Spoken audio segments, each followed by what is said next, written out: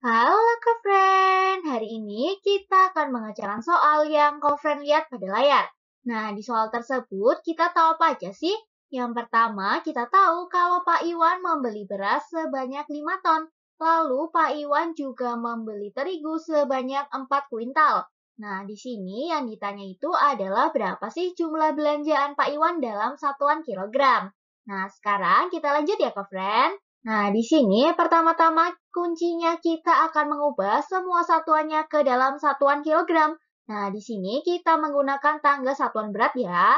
Nah, di sini kalau kita turun satu tingkat maka dikalikan dengan 10. Dan kalau kita naik satu tingkat maka dibagi dengan 10. Nah, sekarang kita mulai ya. Di sini berasnya itu adalah 5 ton. Nah, sekarang kita lihat dari ton ke kilogram itu ternyata turunnya 3 tingkat. Berarti kalau begitu kita kalikan ya dengan 1000 menjadi 5 dikalikan dengan 1000 kilogram. Nah, di sini artinya dikalikan dengan 1000 adalah kita menambahkan 3 angka 0 di belakang angka 5. Jadi kita dapatkan hasilnya adalah 5000 kilogram ya. Nah, sekarang kita lihat nih kalau yang terigu itu adalah 4 kuintal. Nah, di sini kalau kita lihat dari kuintal ke kilogram itu ternyata turunnya dua tingkat. Nah, berarti kalau begitu tinggal kita kalikan ya dengan 100 menjadi 4 dikalikan dengan 100 kilogram.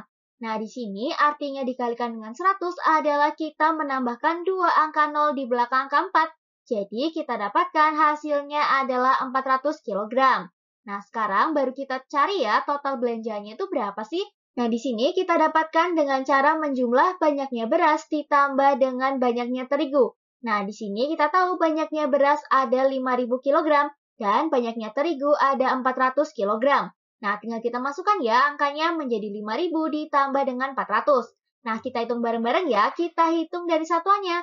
0 ditambah 0 adalah 0, lalu 0 ditambah 0 adalah 0. Lalu 0 ditambah 4 adalah 4, dan 5 ditambah 0 adalah 5.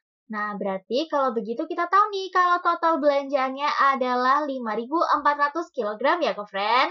Nah, mudah kan? Sekarang kita udah selesai loh kerjaan soalnya. Semoga friend paham ya. Semangat terus, friend.